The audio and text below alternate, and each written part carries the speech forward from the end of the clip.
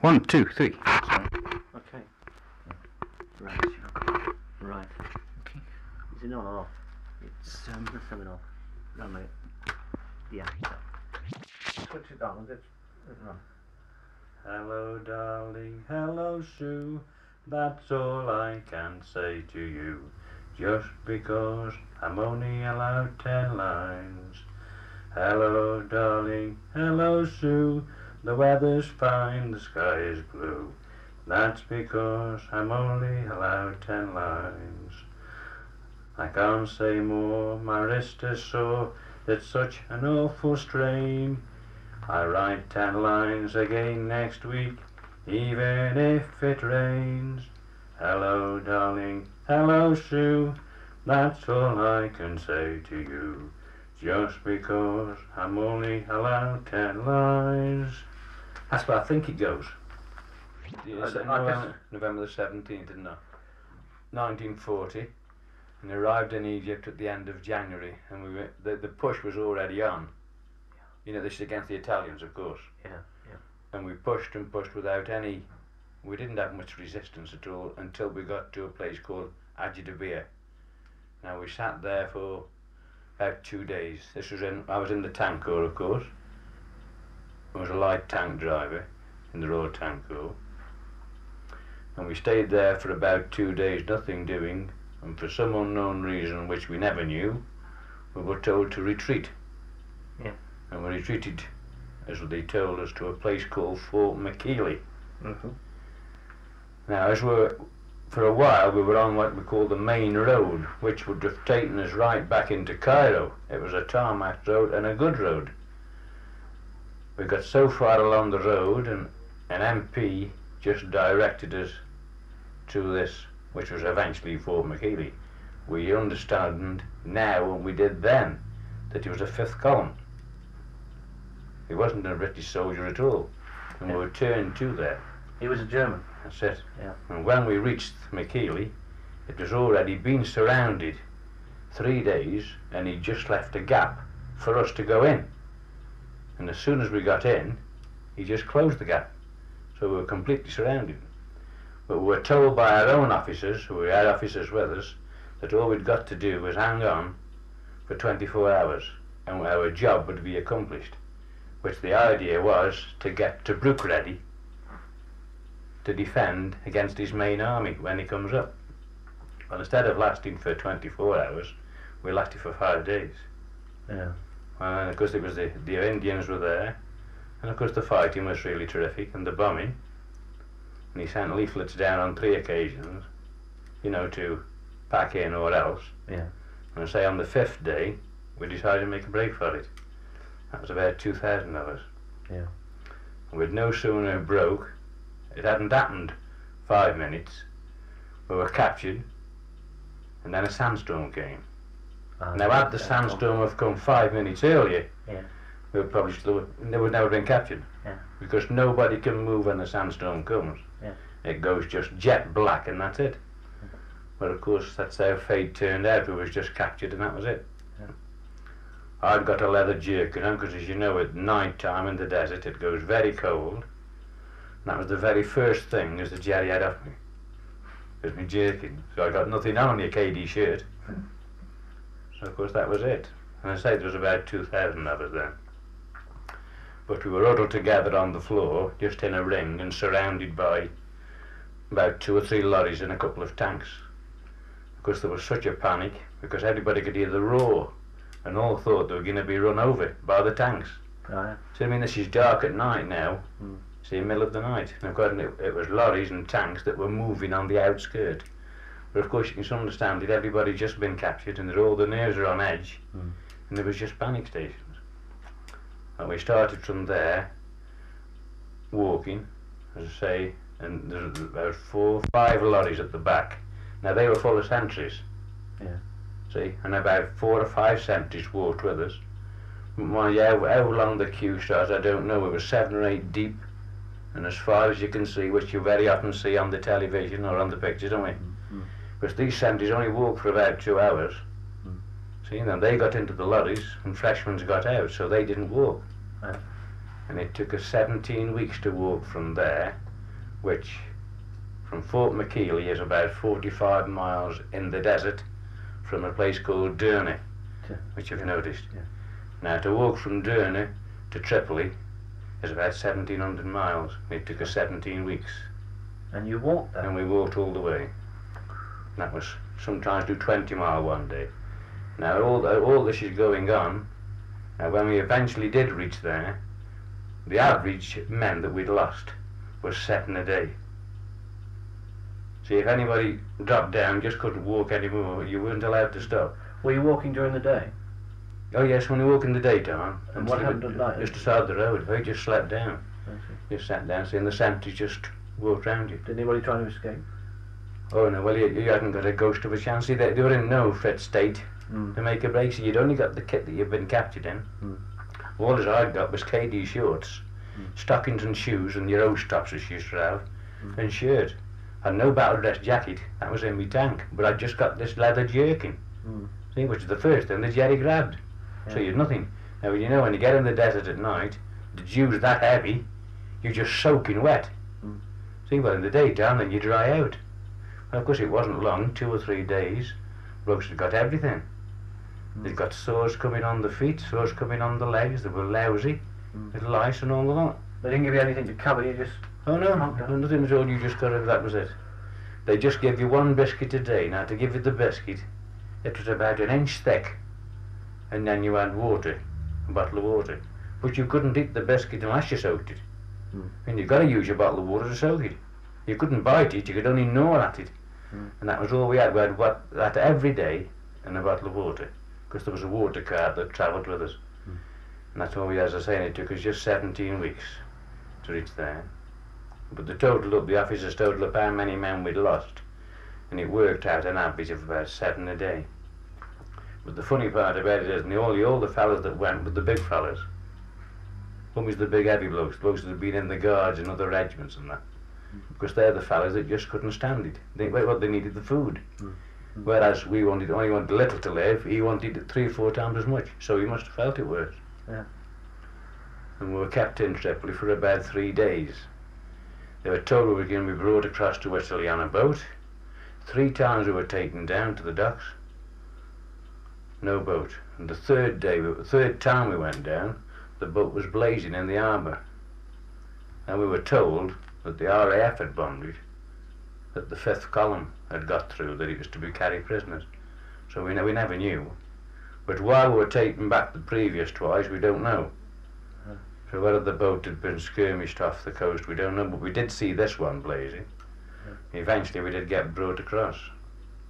And I got, that's right to Naples, of course. And I was taken to a camp called Sulmona. It was a camp in the 1418 war. Yeah. It was the oldest prisoner of war camp they'd got. I got there, and that was uh, there was an officers' compound, of course,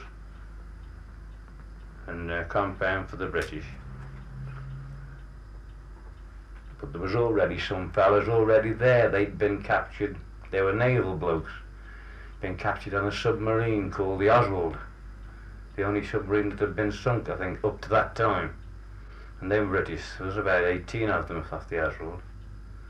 They were sailors, of course. Of course, they'd been captured and they had been receiving Red Cross parcels, so we knew that the camp was like organised as far as that was concerned. And of course, we didn't uh, we didn't do any actual work there in the fact, in the sense that only for our own benefit. You know, straightening the compound up and doing the garden. We didn't actually go out to work. Mhm. And then one day they came round and asked for volunteers. They wanted 30 for a working party. Well, of course, if you worked, you got 400 grams of bread. When you didn't work, you only got 200, which was only half as much. So obviously everybody volunteered. Mm. Anyway, 30 of us, well, about 50 of us actually volunteered. And when word come round, I was one of the 30. And we went just outside Rome. Mhm. No, it was, it was about 60 miles from London in this particular case, a place called Vitrale, name is. And we were supposed to be building a prisoner of war camp. I went in a stone quarry there. Five. See, there was 30 of us and we slept in these huts. and there's a barbed wire around, and the camp was right adjoining the barbed wire, Yeah. where we were actually supposed to be building this camp. So I went into the stone quarry hauling stone out to bring in for the foundations, and different lads, of course, did different departments. It took us, I think it was about 18 months to do this. But there was one fella, fella named Albert Penny. He'd been a sailor. He was one of these sailors that was on this Oswald. Mhm. He was volunteered. He was working with a plumber. And every morning the sentry used to come for Albert. See, he used to sign for him and that was it. Now this went on for weeks. As I say, were there nearly 12 months building this camp. Went out one morning, but Albert never came back. And he'd escaped and got back to England. And he sent a letter through, through code because he'd got some fellas there who were his mates. Mm. And he told them by code that he got back to England. What he'd done, he'd gone outside. See, he used to do this every morning. Him and the plumber got a bike for biking round to doing the jobs. And they just went out this morning, both of them, and just biked off. See, I mean, the actual Italian knew where he was going. Mm. Albert even more or less helping him to escape, because he'd supplied him with money and that, see? Mm. And Albert just cycled right into bloody Rome and went into the Vatican, and they just flew him over as a king's messenger. And that was the last we saw of Albert. As I say, the lads he sent letters through to his mates in the camp. Yeah. We couldn't read it because we couldn't understand it. Yeah. But he'd worked this code out before he'd gone, you know, so how we would know. Okay. But he got back and he did say how much money he got. I think it was the news of the world. He mentioned Uh. how much money they'd given him for his story. Aye. But that's the only fellows I know, as I see, whoever actually got back home. Mm. But Albert worked it. As I say, it took us about 18 months to build this camp. And as soon as we'd built it, oh yes, by then it was 1942, and that was when Tobruk fell. Mhm. And prisoners started to come in in the thousands, even British ones, South African and that. And all that they got on as we was, see, we were in, we were in our own compound. All that they got was just blankets round them, no shoes on, no stockings on. Yet they were British prisoners of war. I don't know where, where, where they'd lost all the kit.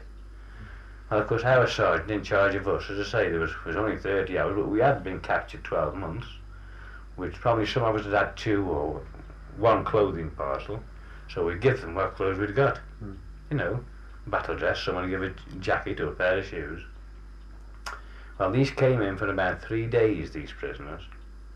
Say, I never saw anybody I knew, and none of the lads did, but some were British.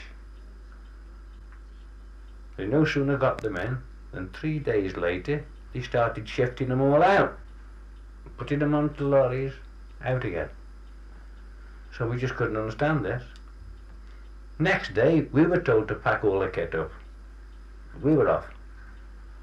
It wasn't a prisoner of war camp we'd built at all. It was an army barracks for them. See now, the Red Cross say that you can't, you're not allowed to do things only for your own benefit. So you could build a prisoner of war camp. Mm. Well, the funny part of it is we got sent to there, and we got sent just outside Rome. You built this for the Italians, did you? Yeah, it was supposed to be for prisoner of war. That's why they brought these prisoners of war in, you see. Yeah. That was all right, but for three days, whip them out again. Mm. We got took then to just outside Rome, Ciampino, where the big air, aerodrome is. And we hadn't been there two days, and they'd flattened this camp that we'd just built. The area had flattened it, this army barracks. Which just showed you the fifth column. But we did notice when we were building this that while you were out, fellas would come along to you, which you thought were Italians, and they'd speak to you in perfect English. Hmm. How are you, Johnny, this morning, and all that, see? Well, you, the Italians knew English well, Hmm. but it made you think, well, you started to think this out afterwards. What they were, they were Englishmen, you see. Mm. You know, spies kind of style. And that's what happened. They completely flattened the camp. There wasn't a thing left. So they hadn't gained anything Mm. by us building it and then shifting us out. Mm. So I say in Rome, when we started, we were building houses then, or flats as you'd call them now, upstairs and down. And that was a quite a steady job there, because on a Sunday afternoon, if we weren't working, they sent us just to get us out in 20s and 30s. See, it was 30 hour, 20 or 30 hour, we could all go, or 20 could go, or 30 could go, and we used to go walk around Rome. This was, we were only about a mile, a mile and a half down the road, Mm. which was quite good, but it was a change from the other place. You know, you, you, you could look forward to something. Who are these houses While you're flats working. Oh, you were for civilians. Civilians. You were Oh, allowed yeah. to do that. Oh, yeah, we're allowed to do that apparently, Ah, which we don't know. You, you're you're not supposed to do these things, but Yes. there you are. but you did it. Mm. Of course, we had to get we got searched every morning as we went out. Oh. And of course, searched when we came back at night. It didn't stop me getting my watch, mind you, although I got searched. Yeah. I gave doings for that. Three pair of long pants and three pair of woolen vests. See, the Italians apparently couldn't get clothing. From an Italian. Yeah, they couldn't get clothing at all, but of course they got plenty of money. They could buy watches. Mm. So of course I used to go out in the morning at six o'clock. We used to work straight till about half past five, six o'clock at night. Mm. So I got talking to this Italian, saying, "We should I can get you a watch if we can get you some clothing." Well, I knew I don't wear long pants. Mother had sent them in a clothing parcel. Yeah. I put these three pair of long pants on, and put the three vests on. I looked about 14 stone. I was absolutely boiling up because, I mean, as I say, you don't go, all you went work in the morning was your shorts Mm. and your shoes and your carriage jacket over your arm. Mm. Used to be handy for putting bread in if you brought any bread back, see? but of course, I had to go on with all these vests on. But nobody ever guessed nothing. And when I got to work, of course, I just got into one of the buildings, took these off and gave him, and he gave me the watch. And it hasn't cost me eight yet it since, only to have it cleaned and the winder wore out. think didn't the it? winder The winder wore down with one, I've had to have a new winder on. So that's 30 years, so that owes me nothing. when you weigh it up, it's three long pants and three vests. Mm. So I say that was all right with that. As I say, we worked there for.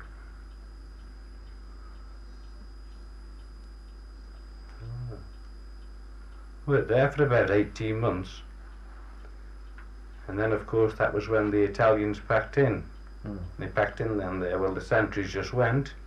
What happened? We just did- well, you were working on this. We did. We did the news through various sources. Italian, you see, it'd tell you different things that the Yeah. war was going bad with them, and all this, that, and the other. And apparently there was some argument between the German military and the Italian military with Mussolini. We just don't couldn't we could never get the truth. Mm. Well, for no some unknown reason, this particular morning you got up and there just wasn't any sentries there. Yeah. I mean, one or two of the lads just walked out the gate, but everybody was a bit dubious. Where are they? What, what is going on? Are they going to shoot or something like that, you see? But nobody just came, so we just walked out. Now we went out and there was about 13 of us that stuck together. Yeah. And we went into an orchard. So what we used to do there, we used to sleep, as I say, in the daytime. And then at night time go up into the village and pinch bread and stuff like that. And we'd done this for three or four nights. No trouble at all. Outside the camp. Oh yes, quite a distance Like- from the camp scene. Never had no trouble at all. We just came down this one particular morning, loaded up because we had nothing but bread and grapes. Well, we hadn't been able to get any bread for a couple of days. We were eating nothing but grapes. Well, of course, going to the toilet. You were living on the toilet. Yeah. We were coming out ready bagged. So, because we came down, we came down there, the paratroopers were standing where we'd been sleeping. Must have watched us for days and never let on at all. With the rifles across it, just waiting for us to come back. Of course, we had no choice, that was it. We'd been cornered. As I say, that we've been, been away for three, five days then. Well, we got took there and put into these, as I say, like railway coaches. They like horse boxes. You got a little grill at the side. Of course, when the trains went, there was dozens of prisoners. on- They must have been gathering these prisoners up from all over the place. The train was full, and they had to put about forty of us in each one, and then just shut the door. But of course, the door got locked. Mm. Well, of course, they opened it once every night, as I say. Well, of course, the lads were doing it in the mess tins and what whatever they'd got, they were doing the dirt and everything, and the place just stunk vile. Mm. But the amazing part about it was we got took, as I say, into Germany. But when we were going through the Brenner Pass, they happened to stop there just to go to the toilet because we'd got in boiling hot summer, which an Italian summer is. Mm. When we got out there, snow-capped mountains, snow everywhere. It was just amazing because I mean it's dark inside. You've only got the light coming through the grill. Mm. And that was just the amazing part. Wish you hadn't got a chance of escaping in the mountains. You wouldn't know where you were. Yeah, yeah. As I say, we were on there for five days and five nights. That's when we got to, to Mühlberg, of course. And I'm going to say when we got there, that we got all nationalities in. they've been gathering them up, no doubt, from all over the place. And then they asked, uh, we hadn't been there long when they started to sort you out. Who wants to work? They sort the English out from the Poles and the Czechs and the Russians. And they wanted a working party. So as soon as they had a working party, I volunteered. I was there again. And uh, where did I go then? Oh, they wanted a, a 40 to go to a place called, I think it's in the, in, in the book there, Reichenbach. I went to and I worked on the railway. We had a re- I had a really good job because by this time now my brother was captured. He got captured in 1942. Hmm. Because he's no longer with us, is he? He only died No, a few years ago. So I went to work on the railway there. Well, of course, we all got different jobs. Some worked in a meat factory. We actually s- slept on a wooden hut aside of the railway. Uh, that really belonged, did belong to the railway, really. And we only had one officer and one sentry. See, well, of course, some as I say, in this meat factory. Five of us worked on the railway. We'd all got different firms to go to. It was a permanent job, like, for good. Mm. You know, as long as the war lasted, that was it. We were just put there, I think, and forgotten. This officer, he, he thought he'd got a good cushy number, and we just one sentry. Because it was just, it was holiday for them, they got no trouble. Mm. See, half the time, the people who we worked for just came up to the hut in the morning, signed for us, we went with them, the sentry didn't have to go with us. We were more or less like on a type of parole. Mm. You know, no sentry went with you. And I was on the railway to say a really good number. The lad used to load the wagon. It's just like working on the LMS goods here. Mm. Like in a big warehouse on a side, and the railway wagon comes in. Mm. And of course you load all the stuff in. And all as I had to do was stand at the door. After we'd done it a week or two, see, they put one of us in charge and it happened to fall onto me. Just stand at the door and check all these things off that were in. Mm. As soon as I got them all in, just lock the door and seal it up with a lead seal. Mm. See, and then just wait for the engine come and tow it out. Mm. This was just working now. And I say there was a, they got a canteen in there, but mind there was never any food. They, they just for them to eat. They brought their own food, of course. And then the phone went this one day. Said her, her Win- Winkler was wanted. That was me. Would I go to the phone? When I went to the phone, it was the officer from the camp, from the place where we slept. Would I come come back right away? My brother had put in for me. See, now I tried for two years to put in for him.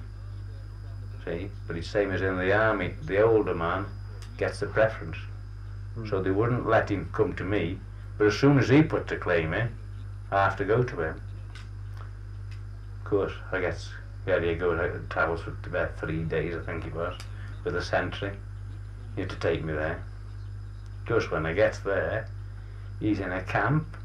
There's about 3,000 in it. They all work at a paper factory, which is across the road. This is in a place called Zwickau. See, Leonard's the name of the factory was, paper factory. He's the camp hairdresser, but nobody ever has a bloody haircut. Because they're out all day. See what I mean? When they come home at night, that's it. So he's got a bobby's job. And there he's took me from the camp where I got a bobby's job, and now I'm stung with him. You could do this, could you, in the war? If, if you had relations, they would try to put you. Oh yes, the LC, they, they They- apparently they have got the same belief. The, the British actually, you say the same in the British Army. The elder one can claim, the younger one. See, of course I put in there two or three times. Oh yes, we'll get him with you. Never happened. Yeah. Yet as soon as I was put in, I was gone. See, well of course. Oh. I didn't, when I got to the camp and saw this, I thought, well, hell, I don't want this. Yeah, But of course, I've got no choice. I. See, I got a nice cushy number there, no trouble at all, regular job, no work. I mean, I'd done all my grafting Mm. the two years previous. Now I've got to start again.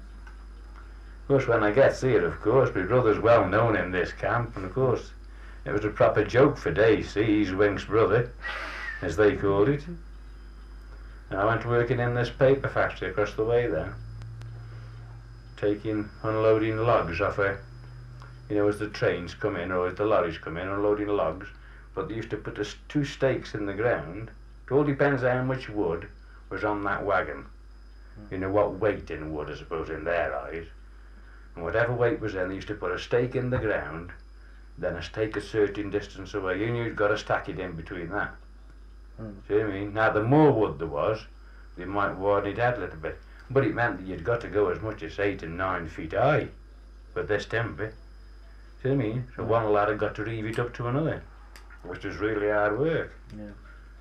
And of course, there was a saw there which they had to saw it up because all this eventually went into the factory and got crushed to make paper of. Yeah. So, and of course, some of the lads had to dig it out of these pits when it was set, have planks across and cut it and dig it out with shovels. Mm. And I was actually, this is at the camp I was at, really, when the bombing really got serious. You know, we could more or less tell then that we were winning the war because you couldn't get any truth. The Jerry's was always, they were winning it. You see, now at this particular camp where I'm saying now where we worked, one of the lads had made a key to fit one of the doors, and there's two or three used to take it in turns to get out of the camp. They had a section of the wire cut which they could bend back and get out and pull it to. See, well, they only got to nip down like a country road, and then right opposite was the factory. Yeah. Once they watched that that sentry had gone past, they knew that be three or four minutes before he came back again, because he's got us two certain points to reach. Mm. And of course, they used to get into the firm, which has made this duplicate key for the canteen across the road. As I say, it was a canteen. There was a wireless, and there was never any food in. It was a canteen just for sitting down and eating your own food, which you'd taken. And you used to get the BBC radio on and get the news, so we did more or less know where our troops were advancing. Mm. Then you used to bring this back next morning and pin it on the notice board. See? But make certain that it was whipped off quick when Yeah. one of the officers come round. Yeah. Because that's how we used to get the information. And of course, as I say, we've been working across this factory then for some unknown reason, as I say, they never told us. We just got to pack in work. So there was no work. Not going out, of course, at all. Mm. Then they started bombing in Zwickau itself. There's a hell of a lot of marshalling yards there, same as Crewe. You know, a lot of unloading. Yeah. Yeah. And of course, they flattened this this day. Oh, they wanted us out on working party then. Of course, we had to go down there and dig in bodies out and all that caper, which is a job that we shouldn't do any case. Mm. See? Of course, one of the lads didn't dig many out. They buried plenty, but didn't dig many. Them as weren't gone. Mm. The lads finished off. As I say, this happened over four or five days, but it was nothing to see 80 or 90 bombers at a time, and just as that wave's gone over another 80 or 90, you were spending 90% of your day in shelters. Mm.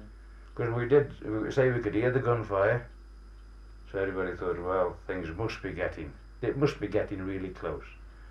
Then they stopped us going there. Mm. See, we could, oh no, we couldn't go out on digging these bodies out.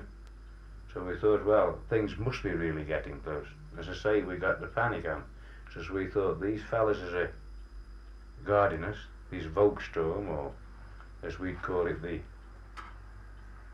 it's a Volkssturm in their language, and you'd call it the own Guard. We thought they'll panic, they will. They're quite apt to put a couple of hand grenades in the camp and blow it up and be off.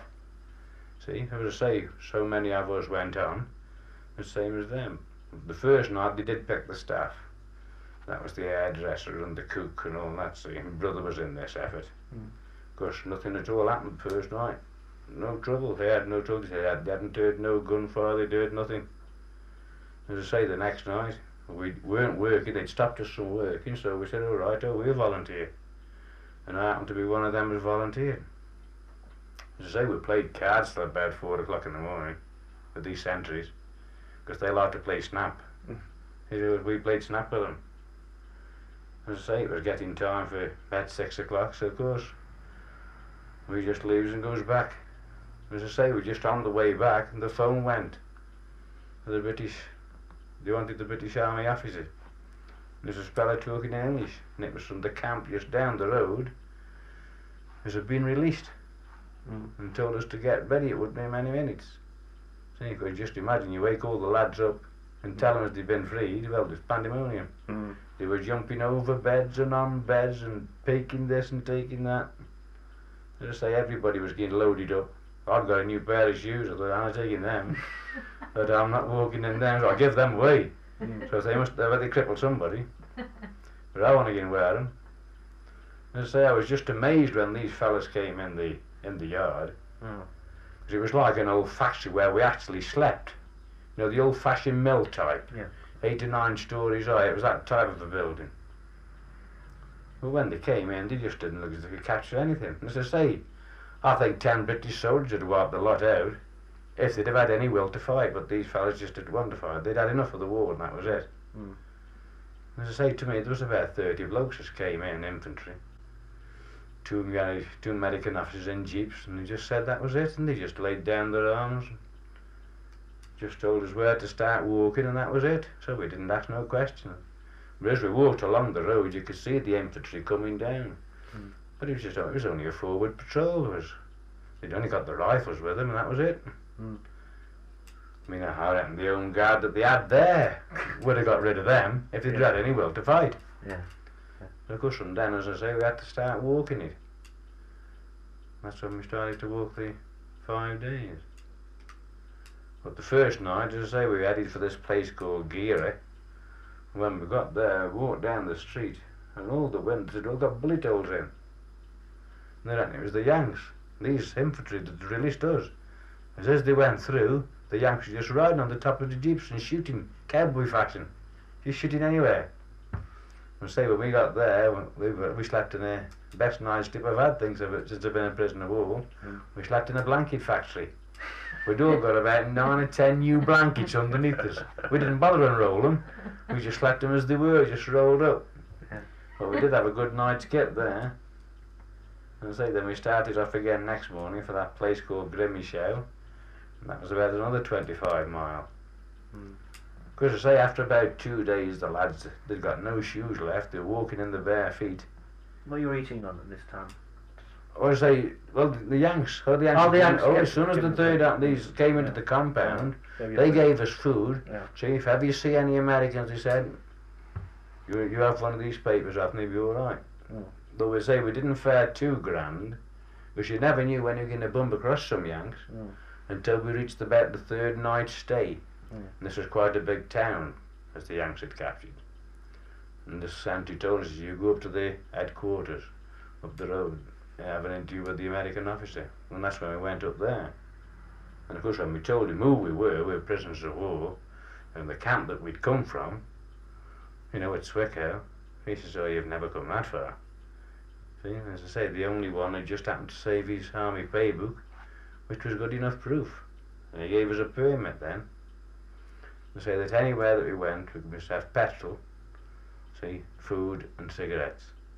And we never had no trouble from then on. Every camp that we come across, as I say, but we always made certain we kept away from the British. We wanted nothing to do with them.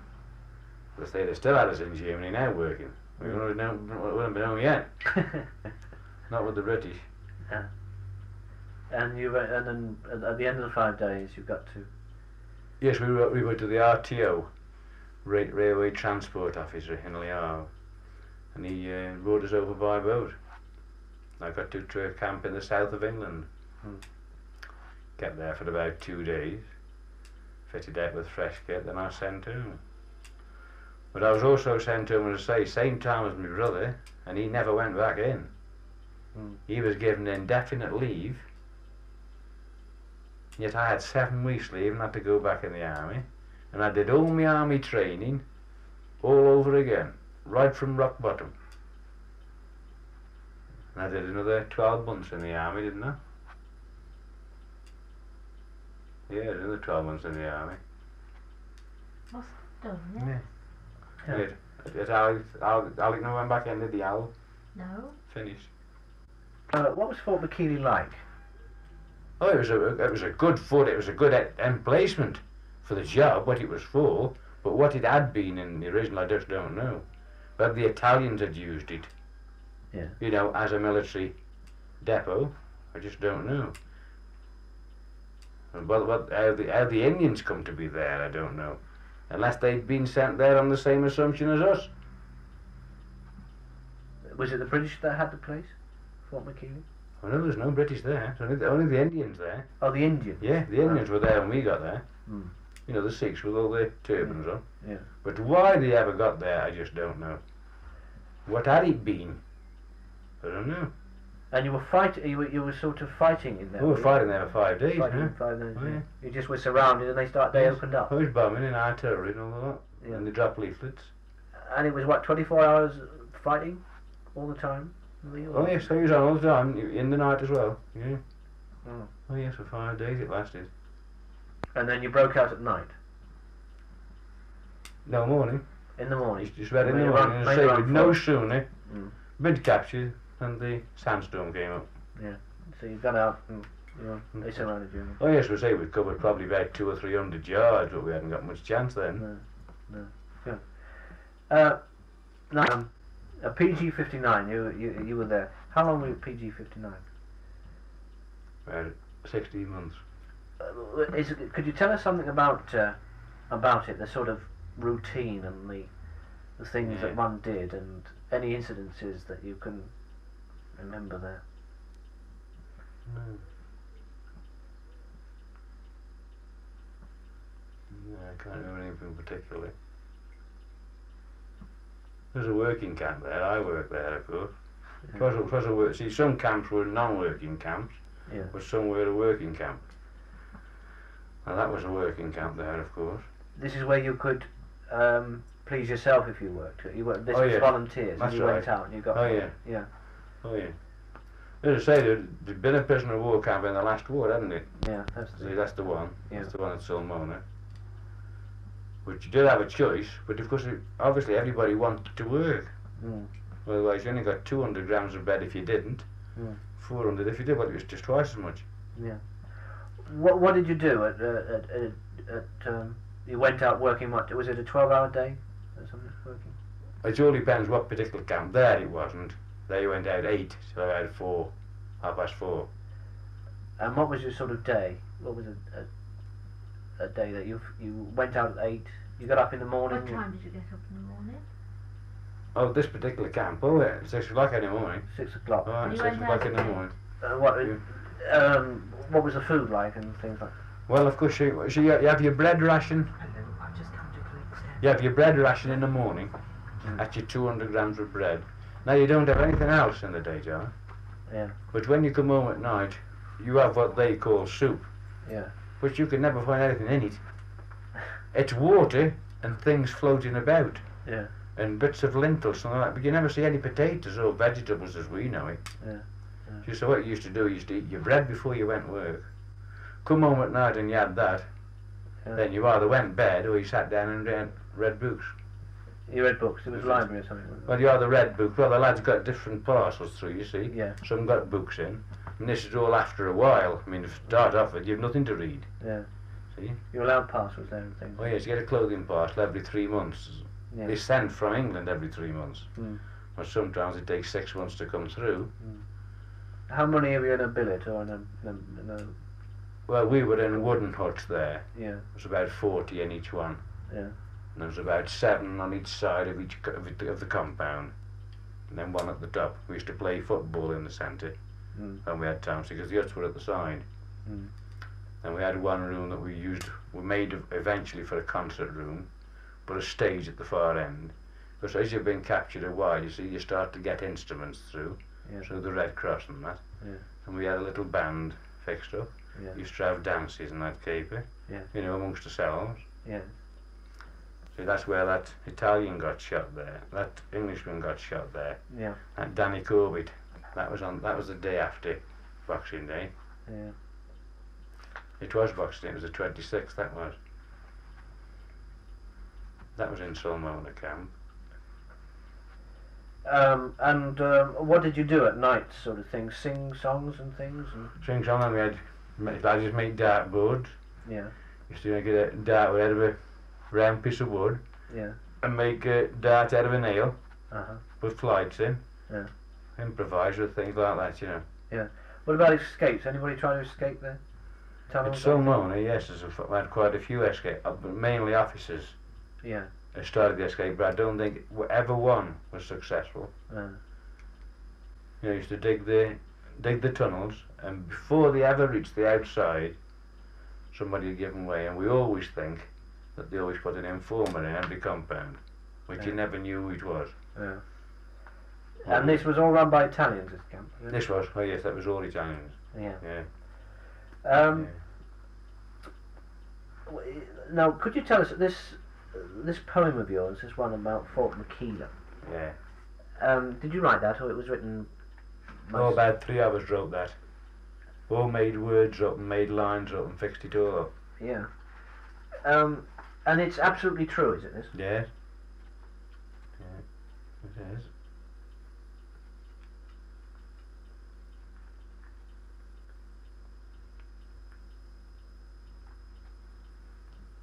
There's one to the end, isn't there? At Yes, Mechili. this one's And then there's the other one. Yeah. Mm. Yeah. Yeah. Do, uh, are there any other uh, sort of incidences that, uh, you know, during the whole period that you think that stand out? I just start thinking back at me now as to what happened. You know, to, that's interesting. Sure. You met the Yeah. Pope? Oh, well, the Pope came round. That was when we were at uh, Rome. That was. Mhm. Pope Pius, the what was it? Twelfth was it? I don't, know. I, for, I forget the numbers of these popes. yeah. But that's when we were building the houses in Rome. They came round. But the Pope came round one Sunday Yeah. afternoon. Uh, Mm. shook hands with us or whatever. He knew you were prisoners of war. Oh yes, yes. I suppose it was a special invite for him, you know, Mm. from the Italian side of it. Yeah. They just said the Pope's coming round and just came round and shook hands with us all. Yeah. Uh, that was then. But um, apart, uh, you know, you seem to have got through it, um, sort of with with limbs and with all you know, with all your faculties and everything. I mean, it, it wasn't an experience you could have done without it. But Oh yes, Well, well, is anything you got you from it? what you went just got to make the best of it. See, when I was captured, I was 11 stone. Oh. Now, when I came home, I was 6 stone 2. six and seven. 6 stone 2. So you only had, as I say, you only had this 200 grams of bread, which you did 12 hours a day actual work. See, when I worked in that stone quarry, it was 6 o'clock in the morning. and we were building the camp, Yeah. which was supposed to have been a camp for ourselves, I did 12 hours a day. Now, you only had 200 grams of bread, which is about as big as a Berlin bun in the sense of it. Yeah. How was it you were called back after being in prison war for that time? How was it they called you back into the army? And Because my group number hadn't come up. Didn't no consideration of me being a prisoner of war.